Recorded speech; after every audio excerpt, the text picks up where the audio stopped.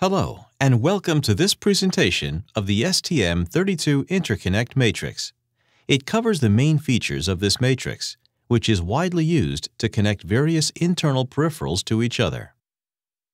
The interconnect matrix integrated inside STM32 products provides direct connections between peripherals. Applications benefit from these interconnections to ensure time-predictable operations, to decrease power consumption by avoiding complex management of peripheral communications through reading and writing registers using CPU instructions, and in some cases, reducing the need to loop the signal from a source to a destination through a dedicated GPIO.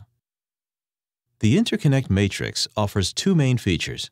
First, it ensures direct and autonomous connections between peripherals, removing latency in regards to software handling, thus saving GPIO and CPU resources.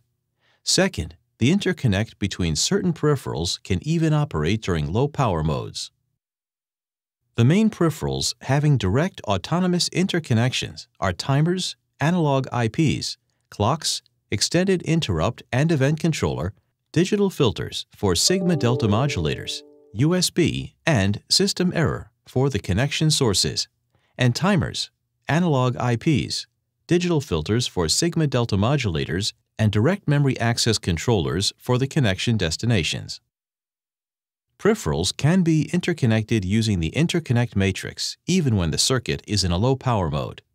The low power modes that can be used are run, sleep, and low power sleep modes, except for the USB to timer 2 connection, which can only be used in run and sleep modes. The connections from the real-time clock or comparators to low power timers can also be used in stop 0, stop 1, and stop 2 modes for low power timer 1 and LP timer 3.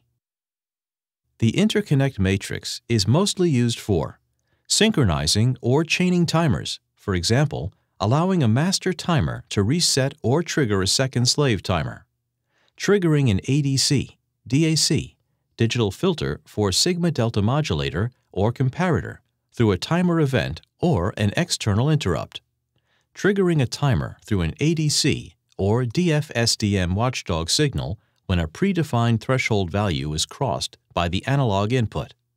Timers can also be triggered by a DF-SDM short circuit detection or by a real-time clock interrupt at a given time or at a regular interval.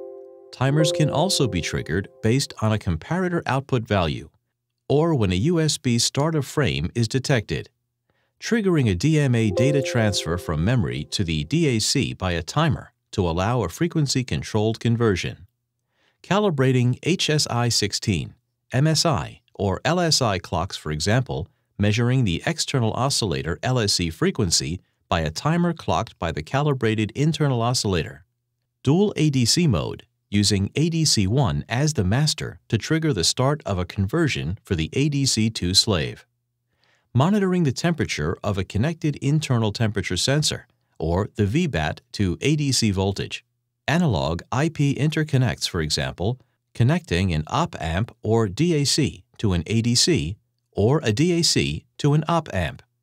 Protecting timer-driven power switches through the direct connection of system error signals to the timer break input, infrared pulse modulation signal waveform generation using two timers. The STM32L5 devices the internal ADC results can be directly connected to the DF-SDM inputs in order to use the DF-SDM filtering capabilities.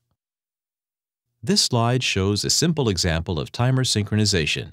The timer 3 is used as the master timer and can reset, start, stop, or clock the timer 2 configured in slave mode. In this example, timer 3 is clocking the timer 2 so that it acts as a prescaler for timer 2. For more details about the interconnect matrix, refer to the reference manual for STM32L5 microcontrollers.